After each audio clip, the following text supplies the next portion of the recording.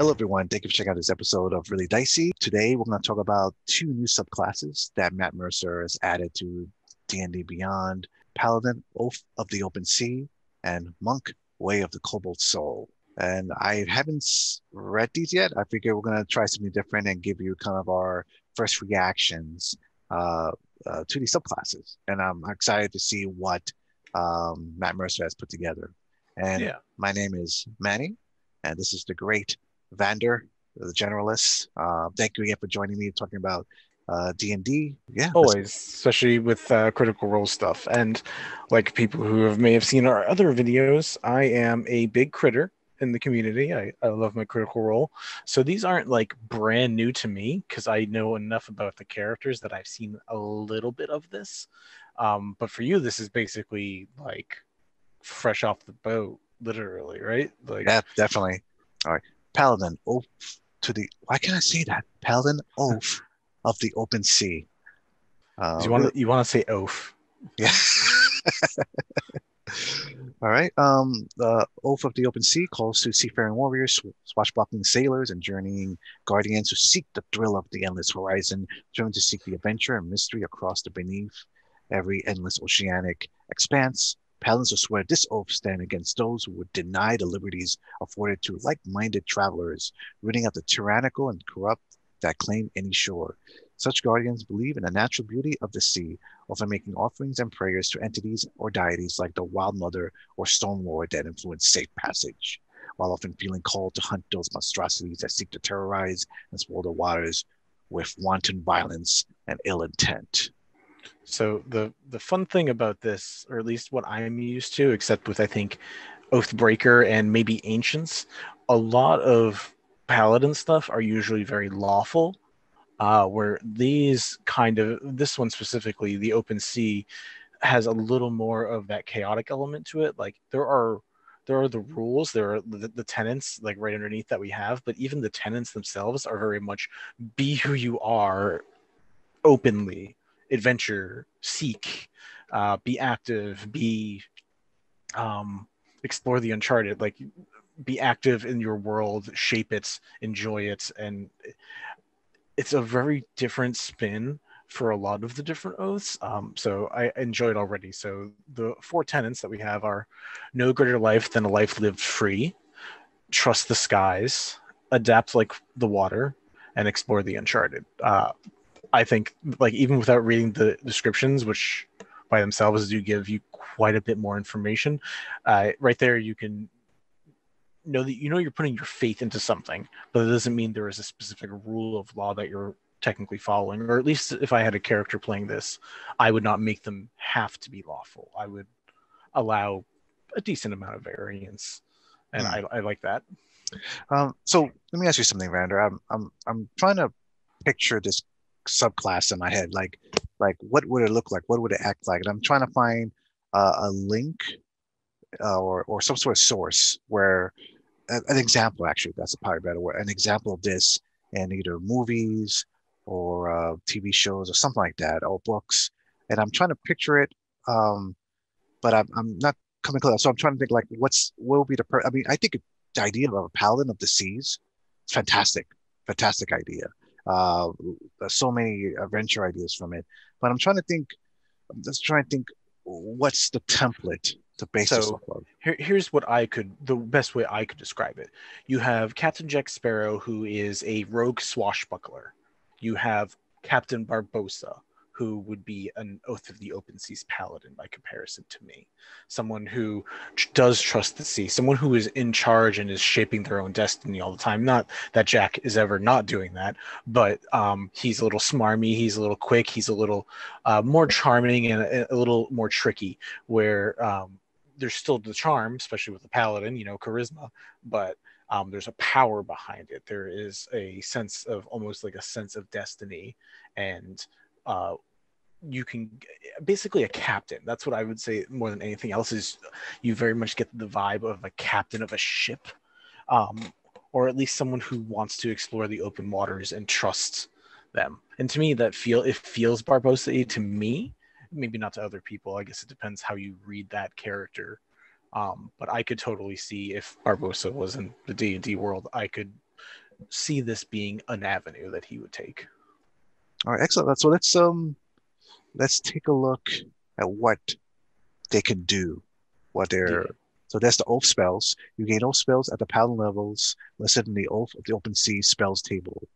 Um, so let's see, makes sense. These spells, yeah, they make sense. Create yeah. spirit water, uh, misty step, call lightning, control water. Yeah, that that's that's yeah. typical. That makes the, sense.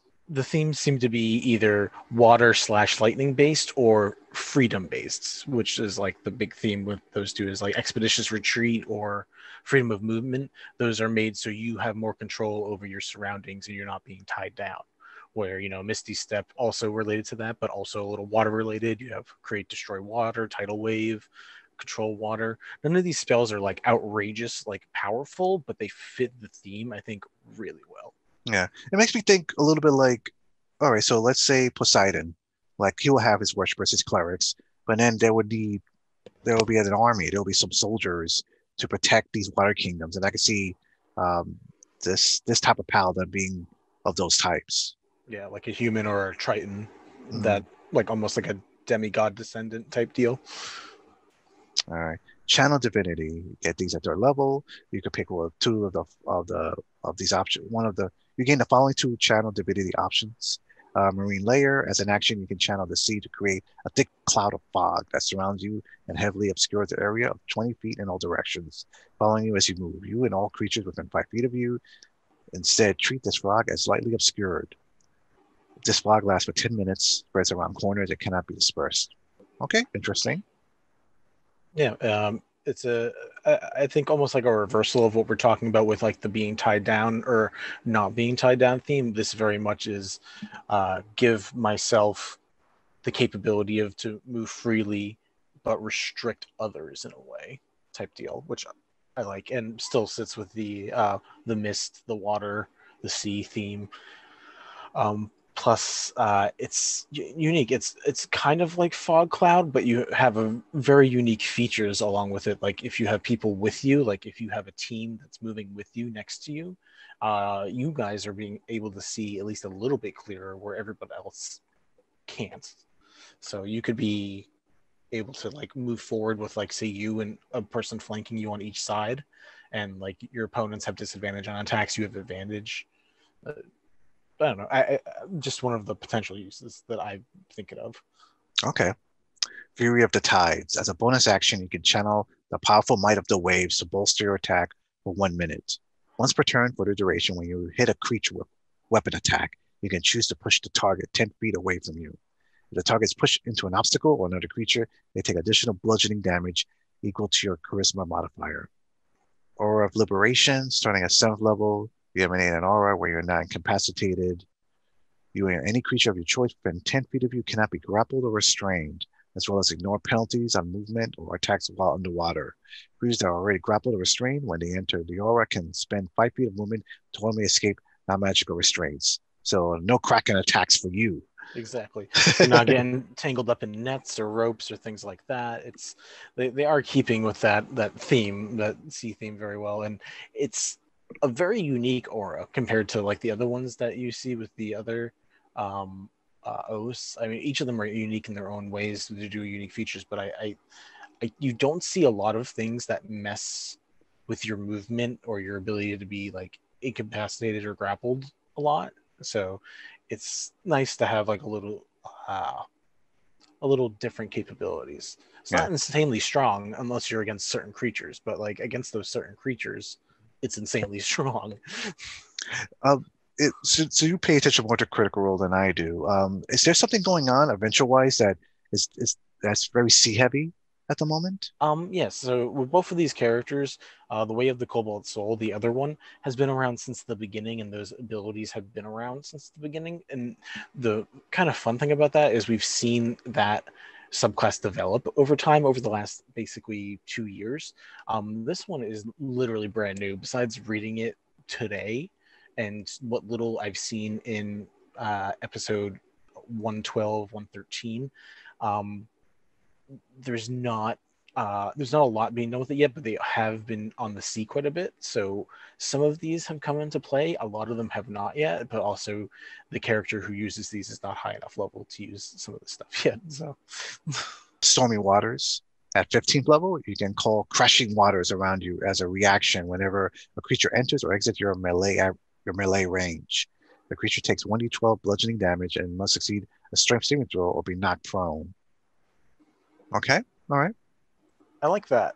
Um, because as a reaction, you're setting up some interesting stuff there. Uh, I would want to double check the wording on that to see if you have to be near waters or are you just summoning them to crash up. Everything else doesn't specify that water really needs to be there, but it says you can call crashing waters. And I'm just like, if you're on a volcano, do they just appear and knock somebody over, or you know, or like you're in fighting in a desert? Would would that would that make sense? Um, that's a good question. Um, hmm, that I'm not sure. I guess it'll be up to the game master, the dungeon master, to decide. Um, uh, but the idea of knocking someone prone uh, could be fun. You, like that's using your reaction to give other people advantage on attacks could be a, a fair trade if it works. Hmm. All right, and then at 20th level, Mythic Swashbuckler. At 20th level, you learn to channel the spirits of historic sea captains to briefly become a paragon of heroic adventure. As an action, you embrace the spirits of the sea, gaining the following benefit for one minute. Climbing costs no additional movement, and you have an advantage to strength checks athletics. If you're within five feet of a creature and no other creatures are within five feet of you, you have advantage on your attacks against that creature. You can take the dodge action as a bonus action. You have advantage on all dexterity ability checks and dexterity saving throws against effects that you can see. Once you use this feature, you cannot use it again until you finish a long rest. Um, it's it's cool. Hmm, I don't know. It's for 20th level. I don't know. I just it is not powerful. Yeah. um and, and like e- even me reading it like i'm a big fan of these potential things but like it's not like compared to like let's say ancients where you get like some pretty strong stuff for uh, uh your final level stuff um this definitely isn't nearly as strong uh it's uh, I guess for me, I'm getting used to, I'm still getting used to way 5e handles 20th level. Like back in my day, but with the dinosaurs and everything, um, um, when you're hit like the last level, usually at that point, like fighting gods, uh, and you know ancient dragons and uh, an army of Tarrasque and whatever. Um, so whenever they did this, whenever they, I notice whenever 20th level comes around, it's I always get like I always get like a. It's not just this class. I feel like all the classes. Sometimes I feel like it's like oh, okay, it's cool, you know, but it's not crazy like I remember it being.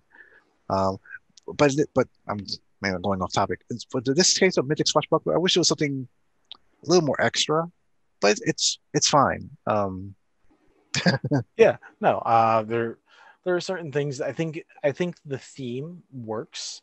So no additional movement to move, advantage and strength checks. Uh, you can take the dodge action. It, it's all sitting with that theme of being slippery even though like you're you're strong, but you're also slippery. You're uh, ease of movement, able to dodge, uh, and the, the part of being like five feet within five feet of a creature, but nothing, no other creatures around you. It kind of has that idea of you being the captain, of you being alone in the front or alone on the side and dealing with a problem by yourself, type of thing. So it's very much like you're you're a one-on-one combatant in this in the mind of this thing yeah. uh, which is uh, interesting because a lot of the other abilities work when you're surrounded by people. Like your aura helps people when you're around them and uh, your other capabilities like the stormy waters uh, to knock someone down is usually to to be prone. That's something to help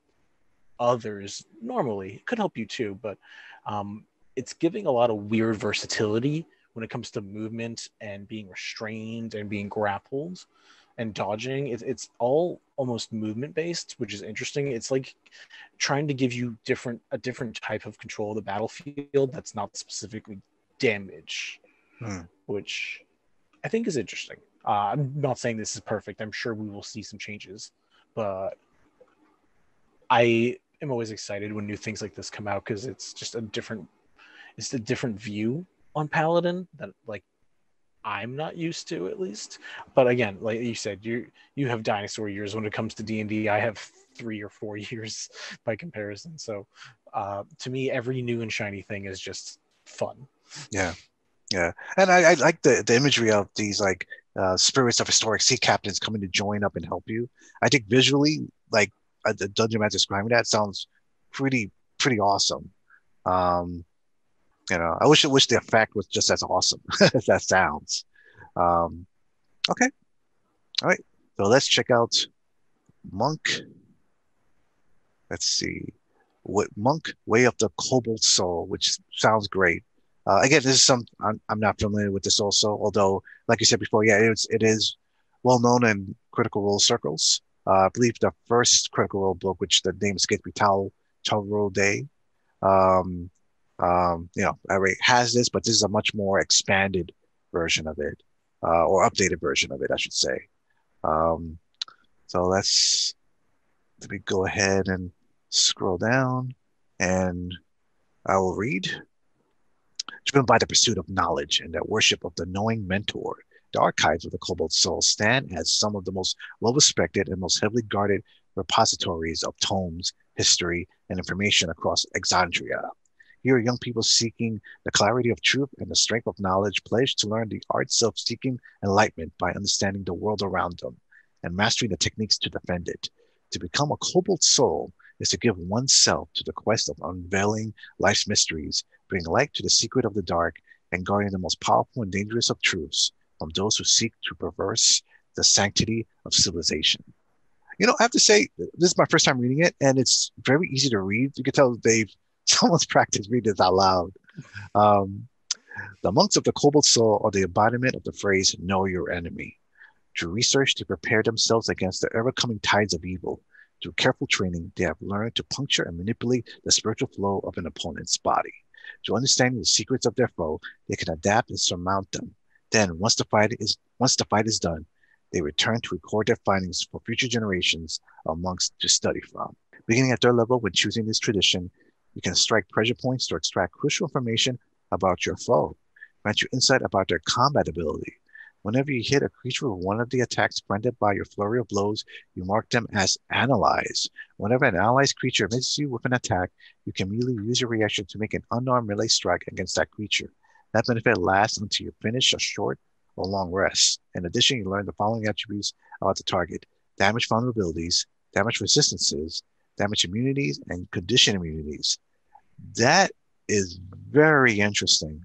And I like that a lot. But that when I think of martial arts, some aspects of martial arts, depending what form or or combats are used, that that's actually one of the things analyzing your opponents. That's that's pretty cool glad you like it. Uh, yeah. Um, well, at least critters and myself, we've seen this being used for quite a bit now. And um, one thing like Matt does, Matt Mercer does really well is like with the uh, oath of the o- ocean of the open ocean, uh, oath of the open sea.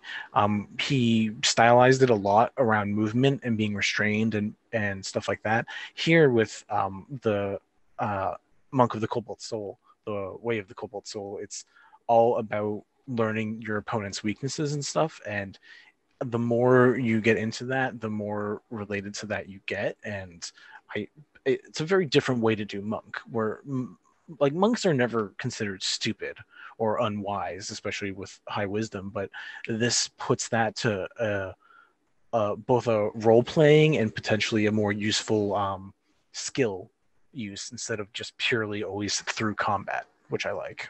Yeah, I I would like to see that expanded. Like I think with a good dungeon master, when when a, a monk is analyzing you after they do this uh, this uh this attack, I would like to like I I would just like add more. Like you actually know more than just you know how to beat it, but know why it is the way it is. Maybe like like like more of a spiritual look. You know, I'll, I mean, I mean that's how I would role play it you know, if I was to do this. Um, so that I give the players an understanding that, hey, this is not just a, a tool of how to beat your enemy. There's a reason why, as a monk, you're given this. Um, but that, that's why I like this. It's a, it's a very, very cool spiritual aspect to this ability that, that I like a lot. That you know that I, haven't seen haven't seen before. Um, I'll go ahead and read Extort Truth. At sixth level, you can hit a hidden cluster of nerves on a creature with precision, temporarily causing them to become mentally malleable. If you hit a creature with an unarmed attack, you can spend one ki point to force them to make a charisma saving throw. On a failed save, the creature is unable to speak a deliberate lie. No charisma checks directed at the creature are made with advantage for up to 10 minutes. You know if they succeeded or failed on their saving throw. An affected creature is aware of the effect and can, can thus avoid answering questions to which it would normally respond with a lie. Such a creature, such a creature can be evasive in its answers as long as the effect lasts. I know there's spells that can do this effect as, as well, but I, I again I like the role playing uh, flavor to it. The, uh, the the the fact that you could extract truth a different way. What what do you think? Um, it, it has that uh, zone of truth vibe, but it gives you to like one specific target, and instead of just specifically like getting the truths or lies, uh, you also get the advantage on the saving uh, the charisma check. So you're not just getting the person to admit stuff you're also able to manipulate the person. So uh, that's the like maybe not huge but slightly different aspect of this versus like say zone of truth. And i i do like that. I like that idea of like you are a knowledgeable person. You are able to physically and now mentally be able to manipulate a thing or a creature to some level. Okay Mystical erudition. Beginning at sixth level, you've undergone extensive training with the Cobalt Soul, teaching you extensively in history or lore from the monastery's collective volumes. You learn one language of your choice, and you gain one and you gain proficiency with one of the following skills of your choice: Arcana, History, Investigation, Nature, and Religion. If you already have proficiency in one of those listed skills, you can instead choose to double your proficiency bonus to any skill to any ability check you make that uses the chosen proficiency. You gain additional language and additional skill proficiency from the above list with the ability to double the bonus of an existing proficiency from that list at 11th and 17th level. So these are both so extort truth and this are both level six things that you get. So uh, it's not like this is by itself, but you're getting a language which if you are a researcher that makes sense and then you are learning to be a little more proficient with the skill, which also I think makes sense, especially if you're not just like a wizened monk, you're also a historian or someone who seeks knowledge. I, I think this does make sense. It's not physically flashy, but it could be very useful for gaining knowledge to the point you were making earlier with like um that you were talking about with the uh, uh extract aspects yeah, yeah. This definitely is not like you said before, not a, a physically flashy character. It's it's. I can see I can see some players having a great time with it, but I can see a lot of if you're into hack and slash, maybe this may not be uh, the most exciting cl- uh, subclass to choose. But I, I I like it so far.